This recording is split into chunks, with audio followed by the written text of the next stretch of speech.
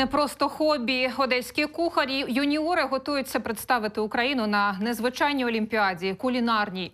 Наймасштабніші світові змагання проводять раз на чотири роки. У німецькому Штутгарді вони позмагаються із понад двома тисячами своїх колег ледь не з усього світу. Цікаво, що за 25-річну історію конкурсу наша держава ще ніколи не брала в ньому участь. Як готується команда до візиту у Німеччину та з якими складнощами зіткається на батьківщині, Катерина Волянська дізнавалась.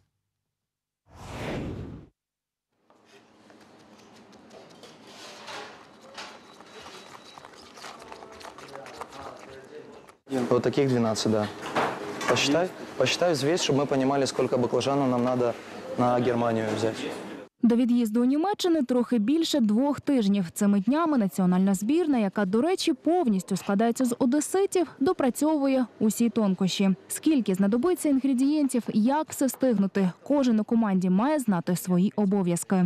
Моя задача организовать правильно работу, чтобы мы успели все по таймингу вовремя сделать. Э, Распределить обязанности э, ребят. Ну и, соответственно, самому не стоять.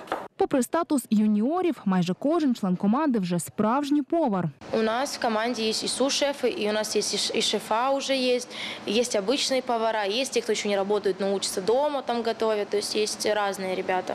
Есть те, кто постоянно на чемпионатах там выигрывает первые места, занимает. Вот сейчас мы хотим показать нашу страну и показать, что мы способны тоже что-то доказать другим людям, другой стране, что мы тоже умеем готовить. Команда має презентувати на світовій кухні 230 різних блюд у двох номінаціях. На все про все по 8 годин від заготовок до сервірування. Проте нині юні кухарі переймаються ще й дорослими питаннями, де взяти кошти, аби плани здійснились. Майже все оплачують самостійно. Партнери допомогли з посудом, формою та продуктами в Україні, але до Німеччини їх брати не можна. Проблема составляющая – это переезд, проживание и купить продукты в Германии, потому что отсюда ничего нельзя везти. А в Германии это все стоит очень намного дороже, потому что та же утка, которая стоит здесь, там, грубо говоря, 200 гривен за килограмм, там она стоит 30 евро за килограмм. Ну, это сейчас образно говорю.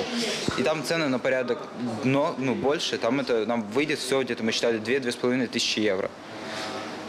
Проблемно.